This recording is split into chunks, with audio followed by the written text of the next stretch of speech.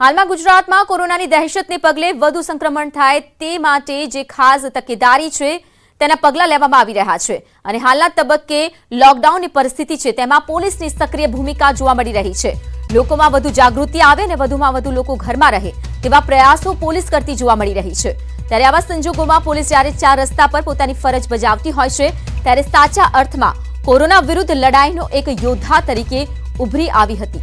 પગપાળા જતા શ્રમિકો ગુજરાતની બોર્ડર પાર કરી રાજસ્થાન તરફ જઈ રહ્યા હતા. ત્યારે તે ગરીબોને ભોજનની વ્યવસ્થામાં પણ પોલીસ કર્મચારીઓ જોડાયા અને પોતાના હાથે શ્રમિકોને ફૂડ પેકેટ આપી ભોજન ખવડાવી રવાના કરાવ્યા હતા અને સાથે તેઓને ટોળામાં ન ચાલવા તેમજ મોઢા પર માસ્ક બાંધી રાખી અને આગળ વધવા માટેની સલાહ સૂચનાઓ પણ આપવામાં આવી. ખરેખર સાચા અર્થમાં કહી શકાય કે પ્રજાને પેટની આગ સંતોષવામાં પણ પોલીસ ક્યાંક કારગર સાબિત થઈ રહી છે. લોકડાઉનની પરિસ્થિતિ ચાલુમાં છે. જ્યારે મજૂર વર્ગ છે, એ લોકો ફસાયેલા, રોકાઈ ગયા છે અને ચાલતા આવે છે.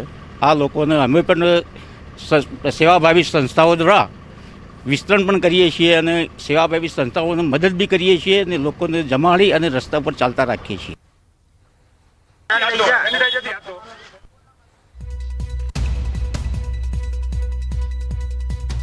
કોરોના વાયરસ અંતર્ગત જે લોકડાઉન થયું છે તેમાં અમે આ જે શ્રમજીવીઓ પગપાળા ઘણા દૂરથી એમના વતન જવા માટે આવે છે અને રાજપીપળા હોલ્ડ કરે છે તો એમને અમે અહીંયા ગાડી ફૂડ પેકેટનું વિતરણ કરીએ છીએ એમને અહીંયા જમાડીએ છીએ અને એમને એમના વતન જવા માટેની વ્યવસ્થા કરીએ છીએ. તો લોકડાઉન થતા પોતાના વતનની વાટ પકડનારા શ્રમિકોને નર્મદા પોલીસે અટકાવી આદર્શ નિવાસી સ્કૂલ ખાતે આશરો આપ્યો છે.